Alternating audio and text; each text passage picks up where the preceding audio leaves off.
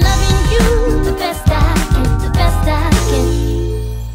Amici, buon inizio settimana. State pensando anche voi a rimettervi in forma per l'estate? State seguendo i miei consigli? Guardate che funzionano. Anzi, vi annuncio subito che questa settimana uscirà un video in più, un bonus, diciamo. Un bonus. Suona bene, già mi piace. E ti piacerà anche questo video, vedrai. È il training che vi ho fatto vedere domenica in questo video, con in più il cronometro e un po' di musica motivational per darvi i tempi e fare insieme questo training rassoda glutei da seduti. Non vedo l'ora, sì. Ottimo! E voi continuate a scrivermi le vostre esperienze nei commenti. Sono uno spunto e un sostegno per tante persone che stanno iniziando davvero a volersi bene e stanno ottenendo dei risultati positivi. Oggi in particolare voglio salutare Emilia Ciao, che mi ha scritto per incontrarmi e nell'attesa si guarda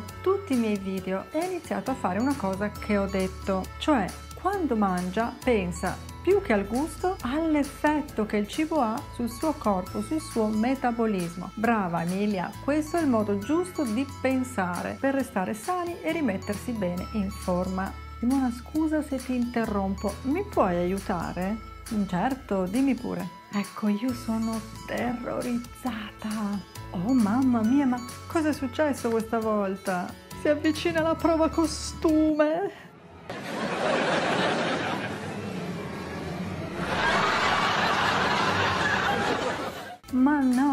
Prova costume non è un film dell'orrore. Per rimettersi in forma ci sono tanti consigli utili e li trovate in questa playlist che ho preparato per voi. Comunque, amici e amiche che volete una soluzione specifica, questa settimana parlerò proprio della prova costume.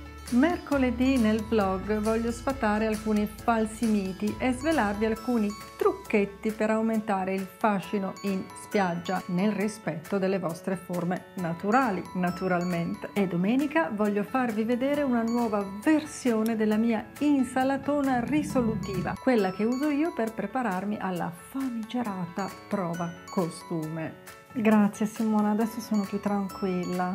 Ma sì dai, oggi mi sono messa il costume, vengo a fare un bagno, fa caldo, mi fa piacere. Anzi, mi sono messa un pezzo solo proprio per te.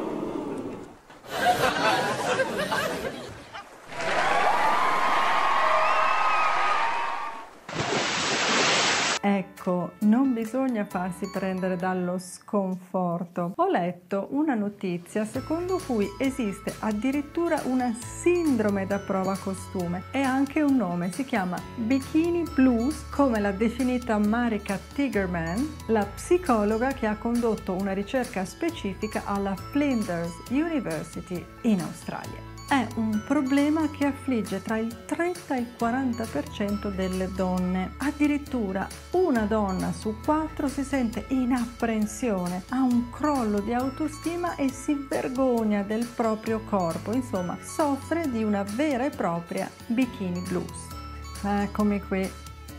Ma no, per favore, forza e coraggio! Questa settimana ci sono i miei video per aiutarvi a superare la prova costume e ho già dato tanti consigli per ritrovare la forma. Per vederli e seguirli tutti basta iscriversi al mio canale con un clic così è facile e attivate la campanella delle notifiche. Prima di salutarci mettete un bel mi piace a questo video, tanti mi piace e tanti nuovi video.